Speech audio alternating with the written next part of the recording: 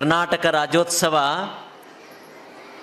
ಬೆಂಗಳೂರು ವಿಧಾನಸೌಧ ವಿಕಾಸಸೌಧ ಶಕ್ತಿಸೌಧ ಕಂಗೊಳಿಸಬೇಕಾದ್ರೆ ಹಾಲ್ಕೆರೆಯ ಮಠದ ಅಂಗಳದ ಈ ಕನ್ನಡ ಬಾವುಟ ಹೆಂಗದ ನೋಡಿ. ಅಂದಪ್ಪ ಪೂಜಾರಿ ಅಂತ ಹೇಳಿ ಇಲ್ಲೊಬ್ರು ಆಗಿ ಹೋಗ್ತಾರೆ, ಒಬ್ರು ಸೈನಿಕರು, ಅವರು ಮಾಜಿ ಸೈನಿಕರು. ಅವರು ವೇದಿಕೆ ಮೇಲೆ ಕನ್ನಡ ರಾಜ್ಯೋತ್ಸವವನ್ನು ಹಾಲ್ಕೆರೆಯಲ್ಲಿ ನಿರಂತರವಾಗಿ ಆಚರಿಸಬೇಕು ಅಂತ ಹೇಳಿ ಭಾಷಣ ಮಾಡ್ತಾನೆ ವೇದಿಕೆ ಮೇಲೆ ಲಿಂಗೈಕ್ಯರಾಗಿದ್ದಾರೆ ಅವರು. ಅವ್ರ ನೆನಪಿಗೆ ನಮ್ಮ ಹುಡುಗರು ವಿಷ್ಣುವರ್ಧನನೊಂದು ಸೇವಾ ಬಳಗ ಕಟ್ಕೊಂಡು ಇವತ್ತು ಹಾಲ್ಕೆರೆಯ ಮಠದ ಮೇಲೆ ಪೂಜ್ಯ ಮುಪ್ಪಿನ ಬಸವಲಿಂಗಪ್ಪಗಳವರಿಂದ ನಾಡ ಬಾವುಟವನ್ನು ಹಾರಿಸಿದರು. ಈ ಮಠವನ್ನು ಎಷ್ಟು ಶೃಂಗಾರ ಮಾಡ್ಯಾರ ನೋಡಿ. ನಾನು ಅವರಲ್ಲಿ ಇಲ್ಲೆಲ್ಲ ಅದಾರಲ್ಲ ಕ ಇದನ್ನು ಶೃಂಗಾರ ಮಾಡಿದವರು ಅದಾರಲ್ಲ.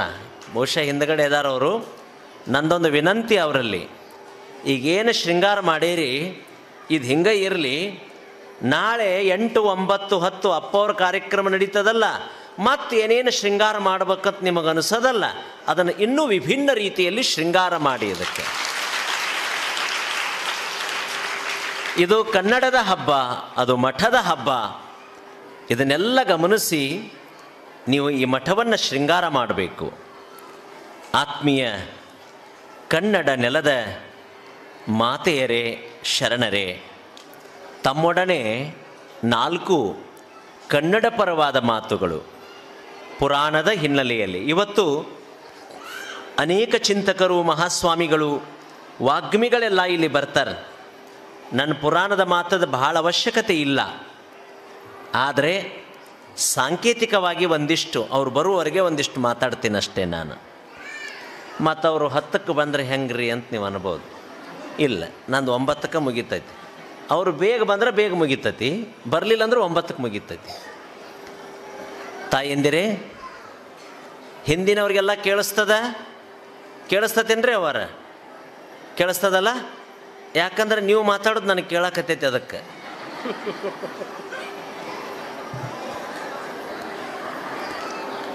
ನೋಡಿ, ಈ ಕನ್ನಡದ ನೆಲದಲ್ಲಿ ಬ್ರಿಟಿಷರ ವಿರುದ್ಧ ಕೇಳಿ ಶಾಲಾ ಮಕ್ಕಳು. ದೊಡ್ಡವ್ರನ್ನ ಬಿಡೋಣ ಒಂದಿಷ್ಟು. ಅವ್ರು ಇವತ್ತು ಸುದ್ದಿಯಾಗಿಲ್ಲ ಇವತ್ತು. ಬ್ರಿಟಿಷರ ವಿರುದ್ಧ ಕನ್ನಡ ನೆಲದ ಮಣ್ಣಿನ ಖಡ್ಗವನ್ನು ಝಳಪಿಸಿ ಹೋರಾಟ ಮಾಡಿದ ಮೊದಲ ಕನ್ನಡದ ಮಹಿಳೆ ಕಿತ್ತೂರು ಚೆನ್ನಮ್ಮ. ಪೋರ್ಚುಗೀಸರ ಮಧ್ಯದಲ್ಲಿ ನಿಂತು ಹೋರಾಟ ಮಾಡಿದವಳು ಉಳ್ಳಾಲದ ರಾಣಿ ಅಬ್ಬಕ್ಕ. ಉಬ್ಬಕ್ಕಲ್ಲ, ಅಬ್ಬಕ್ಕ. ಉಳ್ಳಾಲದ ರಾಣಿ ಅಬ್ಬಕ್ಕ. ಕದಂಬ ವಂಶದ ಮೂಲ ಪುರುಷ, ಕನ್ನಡವನ್ನಾಳಿದ ಮೊದಲ ರಾಜ, ನೆನಪಿಟ್ಕೋಬೇಕು ನೀವೆಲ್ಲ, ಇತಿಹಾಸ ಇದು. ಕನ್ನಡವನ್ನಾಳಿದ ಮೊದಲ ರಾಜ ಮಯೂರ, ಮಯೂರವರ್ಮ. ಕನ್ನಡದ ಮೊದಲ ಶಾಸನ ಹಲ್ಮಿಡಿ ಶಾಸನ. ಕನ್ನಡದ ಭೌತಶಾಸ್ತ್ರಜ್ಞ ಸಿ ವಿ ರಾಮಣ್ಣ, ಕಣ್ಣಂಬಾಡಿ ಕಟ್ಟಿದ ವಿಶ್ವೇಶ್ವರಯ್ಯ. ಹೌದಾ? ಭಾರತ ಜನನೀಯ ತನುಜಾತೆ ನಾಡಗೀತೆ ಕೊಟ್ಟ ರಾಷ್ಟ್ರಕವಿ ಕುವೆಂಪು ಸಿನಿಮಾ ರಂಗದಲ್ಲಿ ಮಿಂಚಿನ ಸಂಚಲವನ್ನು ಮಾಡಿರುವ ಕಾದಂಬರಗಾರ್ತಿ ತ್ರಿವೇಣಿ ಶರಪಂಜರವನ್ನು ಕೊಟ್ಟವಳು. ಸಿನಿಮಾ, ನಿಮ್ಮ cricket Anil Kumble. ಮೊನ್ನೆಯೊಬ್ಬರು I A S K S ಪರೀಕ್ಷೆ ಮಾಡಿದವರು ಒಲಂಪಿಕ್ನಲ್ಲಿ ಸುಭಾಸ್ ಸುಹಾಸ್ ಪ್ರಶಸ್ತಿಯನ್ನು ಪದಕವನ್ನು ತೆಗೆದುಕೊಂಡಿದ್ದಾರೆ. ವಂದನಾ ರಾವ್. ಅಶ್ವಿನಿ ನಾಚಪ್ಪ. ಕನ್ನಡದ ಕ್ರಿಕೆಟ್ ಆಟಗಾರರು ಮತ್ತು ಓಟಗಾರರು. ಈ ನೆಲದಲ್ಲಿ ವಿಭಿನ್ನ ಮಾದರಿಯ ಕಾಲಸ ಕಾಯಕವನ್ನು ಕೊಟ್ಟಿರ್ತಕ್ಕಂಥ ಐದಾರು ಪ್ರಶಸ್ತಿಗಳು ಜ್ಞಾನಪೀಠ ಪುರಸ್ಕೃತರು ಈ ನೆಲದಲ್ಲಿ ಆಗಿ ಹೋಗಿದ್ದಾರೆ. ಅವರೆಲ್ಲರನ್ನ ನಾವು ಇಲ್ಲಿ ಸ್ಮರಣೆ ಮಾಡಬೇಕು. ಈ ವೇದಿಕೆಗೆ ಸ್ಮರಣೆ ಮಾಡಬೇಕು. ಮಾನ್ಯ ಮಹಾಂತೇಶ್ ಮಮದಾಪುರ್ ಅವರನ್ನು ನಾವು ವೇದಿಕೆಗೆ ಸ್ವಾಗತಿಸೋಣ. ಶರಣ ಬಂಧುಗಳೇ, ನೋಡಿ, ಕನ್ನಡದ ಬಾವುಟದ ಹಿಂದೆ ನೂರಾರು ಜನರ ಶ್ರಮವಿದೆ. ಒಂದು ಮಹತ್ವದ ವಿಷಯವನ್ನು ಬಹಳ ಜನರ ಪ್ರಶ್ನೆ ಆಗಿರ್ಬೋದು. ಕನ್ನಡ ರಾಜ್ಯೋತ್ಸವ. ತಾವೆಲ್ಲ ಕಾರ್ಯಕರ್ತರು ಕೆಲಸ ಮಾಡೋರು ಸುಮ್ಮನೆ ಕೆಲಸ ಮಾಡಬೇಕು. ದಯವಿಟ್ಟು ಕೆಲಸ ಮಾಡಬೇಕು ಸುಮ್ಮನೆ ಮಾಡಬೇಕು ಅಷ್ಟೇ. ಏನ್ರಪ್ಪ, ಮಾತಾಡಬಾರ್ದು ದಯವಿಟ್ಟು. ನನಗೊಂಥರ ಆಗತ್ತೆ. ಕೆಲಸ ಮಾಡಿ ಬೇಡ ಅನ್ನೋದಿಲ್ಲ ಸುಮ್ಮನೆ ಮಾಡಬೇಕಷ್ಟೇ ಮಾತಾಡಬಾರ್ದು. ಗಾನಗಿರಿ ಸರ್, ಮೊನ್ನೆ ಒಬ್ರು ಗಾಡಿಗೆ ಗ್ವಾಡಿ ಗ್ವಾಡಿಗೆ ಪೋಸ್ಟರ್ ಹಚ್ಚಬಾರ್ದಂತ ಪೋಸ್ಟರ್ ಹಚ್ಚಾರ ಇಲ್ಲಿ ಯಾರೂ ಪೋಸ್ಟರ್ ಹಚ್ಚಬಾರ್ದಂತ ಒಂದು ಪೋಸ್ಟರ್ ಹಚ್ಚಾರ ತಿಳಿತಿಲ್ಲ ನಿಮ್ಮ ಕತೆ? ಪೋಸ್ಟರ್ ಹಚ್ಚಬೇಡಂತ ಪೋಸ್ಟರ್ ಹಚ್ಚಾರ ಮತ್ತು ನೀವೆಲ್ಲರೂ ಬಾಯಿ ಮಾಡಾಕತ್ತೀರಿ ಅಂದ್ರೆ ಬಾಯಿ ಮಾಡಬೇಡ್ರಿ ನಾ ಬಾಯಿ ಮಾಡೋದಕ್ಕತ್ತೆ ಅಂತ ತಿಳ್ಕೊಬೇಕು. ಮತ್ತು ನಿಮಗೆ ಬೇಸರಾಗಿದ್ರೆ ನಾನು ಬಿಟ್ಟು ಬಿಡ್ತೀನಿ ಕುತ್ಕೊಂಡು ಕೇಳಬೇಕಮ್ಮ. ಕನ್ನಡದ ಹಬ್ಬ ಹಾಲ್ಕೆರೆ ಮಠದಲ್ಲಿ ಅವಶ್ಯಕತೆ ಬೇಕಿತ್ತಾ ಅನ್ನುವ ಪ್ರಶ್ನೆಗೆ ಉತ್ತರ ಏನು ಅಂತಂದರೆ, ಜಕ್ಲಿಯಲ್ಲಿ ಅಂದಾನಪ್ಪ ದೊಡ್ಡಮೇಟಿ ಅಂತ ಹೇಳಿ ಆಗಿ ಹೋಗ್ತಾರೆ. ಅವರು ಸಚಿವರಾಗಿದ್ದರು ಶಾಸಕರಾಗಿದ್ದರು ಭಾಳ ದೊಡ್ಡ ಪಂಡಿತರವರು.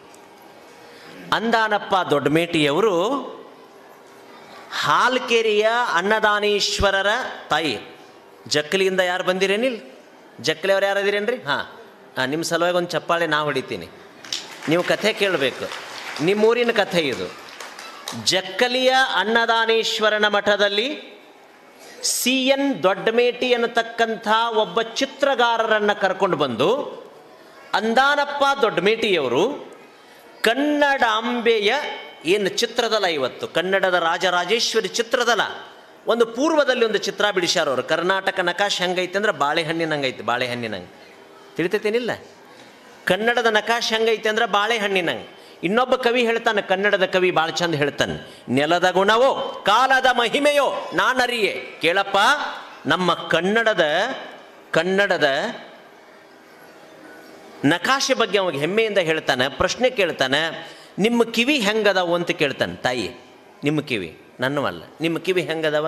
ಅಕ್ಕ, ನಿಮ್ಮ ಕಿವಿ ಹೆಂಗದ ಹೆಂಗದಾವಂತ? ಆಕಾರ ಹೇಳ್ರಲ್ಲ, ಬಾಳಿಕಾಯಿ ಹೆಂಗದಾವೋ, ಕಬ್ಬಿನ ಹೆಂಗದಾವೋ?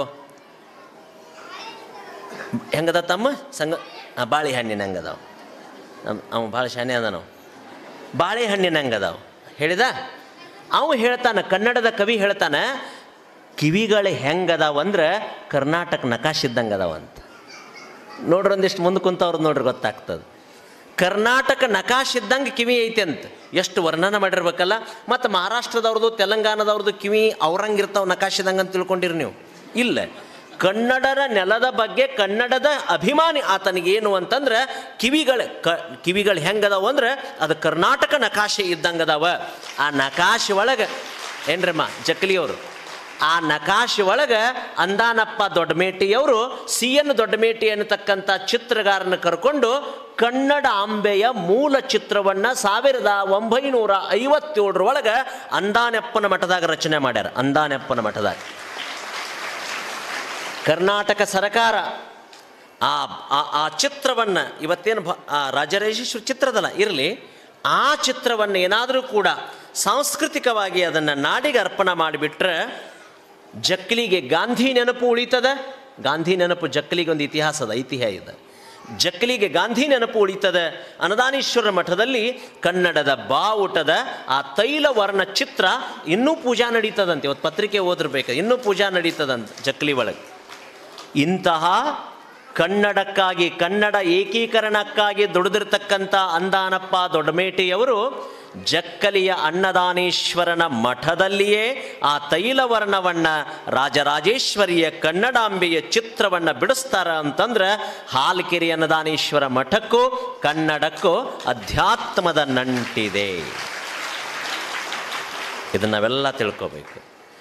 ಅಂದಪ್ಪ ಪೂಜಾರಿ ಸೈನಿಕ, ಇದನ್ನು ಮಾಡ್ರಿ ಅಂತ ಹೇಳಿ ವೇದಿಕೆ ಮೇಲೆ ಲಿಂಗೈಕ್ಯ ಆಗ್ತಾನೆ. ಆ ಕಾರಣ, ಅವರು ಕನ್ನಡದ ಮಾತೆಯ ಚಿತ್ರವನ್ನು ಅಂದಾನಪ್ಪನ ಮಠದಲ್ಲಿ ಹತ್ತೊಂಬತ್ತು ನೂರ ಐವತ್ತೇಳರಲ್ಲಿ ಬಿಡಿಸಿಸ್ತಾರೆ. ಇವತ್ತಿಗೂ ಅದು ಪೂಜೆ ನಡೀತದಂತ ನಾವು ಕೇಳಿದ್ದೀವಿ ಈ ಎಲ್ಲದರ ಹಿನ್ನೆಲೆಯಲ್ಲಿ ಇಲ್ಲಿಯ ಯುವಕರು ಎಷ್ಟು ಶಾಣ್ಯಾರು, ಎಷ್ಟು ಬುದ್ಧಿವಂತರು ಅಂತಂದ್ರೆ, ಬರೇ ಯುವಕರು ಕೆಟ್ಟಾರ, ಹಂಗೆ, ಹಿಂಗೆ. ಅವ್ರು ಕೆಟ್ಟಾರ ಅನ್ನಕ್ಕೆ ಒಂದು ಮಾತು ನಾ ಈ ಪ್ರಸಂಗದೊಳಗೆ ಹೇಳ್ತೀನಿ ನಾನು. ಅವ್ರು ಏನಾದರೂ ಸ್ವಲ್ಪ ಗುಟ್ಕ ಹಾಕ್ತಿದ್ರಂದ್ರೆ, ಸ್ವಲ್ಪ ಮಾವ ಹಾಕ್ತಿದ್ರಂದ್ರೆ, ಇಲ್ಲೆಲ್ಲ ಕೆಲಸ ಮಾಡಿದವ್ರಿಗೆ ಹೇಳಕತ್ತೀನಿ ನಾನು. ಅವ್ರಿಗೆ ದಯವಿಟ್ಟು ನಾನು ಕೈ ಮುಗಿತೀನಿ. ಕನ್ನಡ ಮಾತೆಯ ನಿಜವಾದ ಮಕ್ಕಳು, ಅಂದಾನಪ್ಪನ ಖಾಸ ಮಕ್ಕಳು. ಇವತ್ತಿನಿಂದ ಆ ವ್ಯಸನಗಳನ್ನು ಬಿಟ್ಟು ಕನ್ನಡಾಂಬೆಯ ಅನ್ನದಾನೇಶ್ವರನ ನಿಜ ಮಕ್ಕಳಾಗಬೇಕು ಅಂತ ನನ್ನೊಂದು ಪ್ರಾರ್ಥನೆ. ಯಾಕಂತಂದರೆ ಇಷ್ಟೆಲ್ಲ ಶೃಂಗಾರ ಮಾಡಿರಿ ನೀವು. ಇಷ್ಟೆಲ್ಲ ಶೃಂಗಾರ ಮಾಡಿರಿ. ನಿಮ್ಗೆ ಯಾವತ್ತೂ ನಾವು ನಿಮ್ಮನ್ನು ನೆನಪಿಸ್ಬೇಕಾದ್ರೆ, ನೀವು ಓಡಾಡಿದವರೆಲ್ಲ ಮತ್ತೆ ಮತ್ತೆ ವರ್ಷ ವರ್ಷ ನೀವೆಲ್ಲ ಚೆನ್ನಾಗಿ ಆರೋಗ್ಯದಿಂದ ಇರಬೇಕಾದ್ರೆ ಮನುಷ್ಯನ ಮೀರಿದ್ದೇನಿಲ್ರಿ. ಇವತ್ತು ಅದನ್ನೇ ಹೇಳೋದದ ಪುರಾಣದಲ್ಲಿ ಎದ ಬರ್ತದೆ ಮನುಷ್ಯನನ್ನು ಮೀರಿದ್ದು ಯಾವುದಿಲ್ಲ. ಮನಸ್ಸು ಮಾಡಬೇಕಷ್ಟ. ಈಗ ನೋಡ್ರಿ, ಇಲ್ಲಿ ಭಾಳ ಜನ ಅದಿರಿ. ಚಾ ಯಾಕೆ ಚಾ ಕುಡಿಯಂಗಿಲ್ಲ ಕೆಲವು ಜನ ಪ್ರತಿಜ್ಞೆ ಮಾಡಿರ್ತಾರೆ ಚಾ. ಚಾ ಕು, ಶುಗರ್ ಆದವ್ರಲ್ಲ ಮತ್ತೆ. ಶುಗರ್ ಆದವ್ರು ಕುಡಿಯಬಾರ್ದು ಬಿಡು. ಶುಗರ್ ಆಗಲಾರ್ದವರು ಚಹಾ ಕುಡಿಯಂಗಿಲ್ಲ. ಇನ್ನು ಕೆಲವು ಜನ ನಾನು ಪೂಜಾ ಮಾಡ್ಕೊಂಡನ ಎಲ್ಲ ಕೆಲಸ, ಇವೆಲ್ಲ ಪ್ರತಿಜ್ಞೆ. ಹೌದಾ? ಹಂಗೆ ಮನುಷ್ಯನನ್ನು ಮೀರಿದ್ದು ಯಾವುದಿಲ್ಲ. ಅದಕ್ಕೆ ತಾವುಗಳು ಎಂಥವದಿರಲ್ಲ. ಎಲ್ಲ ಶರಣರು ಇಂಥವೆಲ್ಲ ಅದಿರಿ. ತಾವು ಮನಸ್ಸಿನಾಗ ಒಂದು ಸಂಕಲ್ಪ ಮಾಡಿ ಏನು ಮಾಡಬೇಕು ಅಂತಂದ್ರೆ ನಾನು ವ್ಯಸನವನ್ನು ಮಾಡೋದಿಲ್ಲ ಅಂತ ಹೇಳಿ ಯುವಕರು ಆ ಪ್ರತಿಜ್ಞೆಯನ್ನು ಮಾಡಬೇಕು ಅಂಥೇಳಿ ನಂದು ಕಳಕಳಿಯ ವಿನಂತಿ. ಈ ಕಾರ್ಯಕ್ರಮದ ವೇದಿಕೆಗೆ ಕಾರಂಜಿ ಮಠದ ಪರಮ ಪೂಜ್ಯರು ದಯಮಾಡಿಸಿದ್ದಾರೆ. ಅವರಿಗೆ ಭಕ್ತಿಯ ಸ್ವಾಗತದೊಂದಿಗೆ ಶರಣಾರ್ಥಿಗಳು.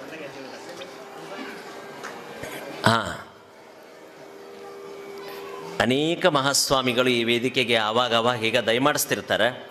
ಇದು ವಿಶೇಷ ಕಾರ್ಯಕ್ರಮ.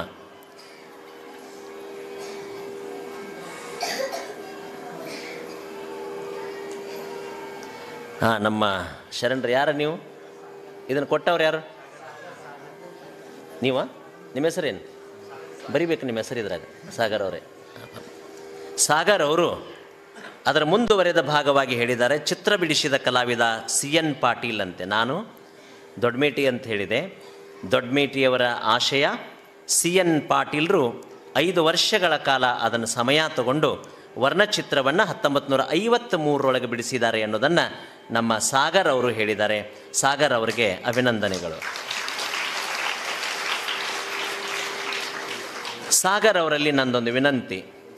ಸಾಗರ್ ಅವರೇ ನಿಮ್ಮ ಸ್ನೇಹಿತರಿಗೆ ಹಿಂಗೇನು ಬರೆದು ಕೊಟ್ಟಿರಿ? ಹಿಂಗೆ ತಾವು ಏನು ಬರೆದು ಕೊಡಬೇಕು ಅಂತಂದರೆ ಕನ್ನಡ ನಾಡಿನ ಮಕ್ಕಳು ನಾವು. ನಾವು ಯಾರೂ ವ್ಯಸನ ಮಾಡಬಾರ್ದು. ಇವತ್ತೊಂದು ಈ ಮಠದಲ್ಲಿ ಮುಪ್ಪಿನ ಬಸವಲಿಂಗ ಸ್ವಾಮಿಗಳ ಸಾನ್ನಿಧ್ಯದಲ್ಲಿ ನಾವು ಚಟ ಬಿಡ್ತೀವಿ ಅಂತಕ್ಕಂಥ ಒಂದು ಸಣ್ಣ ಪ್ರತಿಜ್ಞೆ ಮಾಡಿಬಿಟ್ರೆ ನಾವು ನಿಮಗೆ ಶರಣಾರ್ಥಿ ಹೇಳ್ತೀವಿ ಸಾಗರ್ ಅವರೇ. ಅಂಥದ್ದನ್ನು ನಾ ಯಾಕೆ ಸಾಗರ್ ಅವ್ರನ್ನ ಉದ್ಧಾರ ಮಾಡಿ? ಸಾಗರ್ ಅಂದ್ರೆ ಸಾಗರ ಅದು. ಹೌದಲ್ಲ? ಸಾಗರ್ ಎಂಥದ್ದೆಲ್ಲ ಕರ್ಕೊತದ, ಬ್ಯಾಡದದ್ದೆಲ್ಲ ಹೊರಗೆ ಅದು. ನೋಡಿರಿಲ್ಲ ನೀವು? ಕಟಿಗಿ ಬೆಕ್ಕದ ಹಾಕ್ರಿ, ತಂದು ಹೊರಗೆ ಹಾಕತ್ತೆ. ಶುದ್ಧ ಮುತ್ತ ತಯಾರು ಮಾಡೋ ಸಾಗರ ಅದು. ಅದಕ್ಕೆ ಸಾಗರ್ ಅವರು ಹೇಗೆ ನನಗೊಂದು ಚೀಟಿಯನ್ನು ಕೊಟ್ಟು ನನಗೆ ಅದರ ಮೂಲ ಅರ್ಥವನ್ನು ತಿಳಿಸಿದ್ರು ಅವರಿಗೆ ಅಭಿನಂದನೆಗಳು. ಅವರು ಸಾಗರ್ ಅವರು ಎಲ್ಲ ಯುವಕರನ್ನು ಕರ್ಕೊಂಡು ಏನು ಶೃಂಗಾರ ಮಾಡ್ಯಾರ? ಹಿಂಗೆ ಉತ್ಸವದಲ್ಲೂ ಶೃಂಗಾರ ಆಗಬೇಕು. ತಳಿರು ತೋರಣ, ನಾ ಹಾಡ ಮಾಡೀನಿ ನೋಡಿ ನಿಮಗೆ. ಇಲ್ಲಿ ಆಮೇಲೆ ಹಾಕ್ತಾರೆ, ಹಾಡ ಕೇಳ್ರಿ ಅಪ್ಪವ್ರದ್ದು ಅದು ಹಾಡಿದ್ದೈತೆ ನೋಡಿ. ಹಂಗಿದು ಶೃಂಗಾರ ಆಗಬೇಕು. ಮಾವಿನ ತೋರಣ, ಬಾಳೆಯ ಕಂಬ, ನಿಮ್ಮ ಓಣಿ ತುಂಬ ರಂಗೋಲಿ ಹಾಕ್ಬೇಕು. ನಾ ಬರ್ತೀನಿ ಎಲ್ಲ ಓಣಿಗೆ. ಓಣಿ ತುಂಬ ರಂಗೋಲಿ ಹಾಕಬೇಕು ನಿಮ್ಮ ಮನೆ ಮುಂದೆ ಶರಣು ಬಣ್ಣಿ ಅಂತ ಬರಿಬೇಕು ನಿಮ್ಮ ಮನೆ ಬಾಗಲದೊಳಗೆ ಅಂದಾನೆಪ್ಪನ ಪುಟ ಇಟ್ಟಿರಬೇಕು, ಒಂದು ದೀಪ ಹಚ್ಚಿರಬೇಕು. ಊರು ತುಂಬ ಬೆಳಕಾಗಿರಬೇಕು. ಬೆಳಕ ಬೆಳಕ, ಕನ್ನಡದ ಅನ್ನದಾನಿಯ ಮಹಾ ಬೆಳಕ ಈ ನೆಲದಲ್ಲಿ ಅಂತಹ ಶಕ್ತಿಯನ್ನು ನಾವು ನೋಡ್ತೀವಿ. ನನಗಿವತ್ತು ರಬಕವಿಯ ಮಹಾಸ್ವಾಮಿಗಳು ಫೋನ್ ಮಾಡಿದ್ರು, ಬ್ರಹ್ಮಾನಂದ ಮಠದ ಪೂಜ್ಯರು.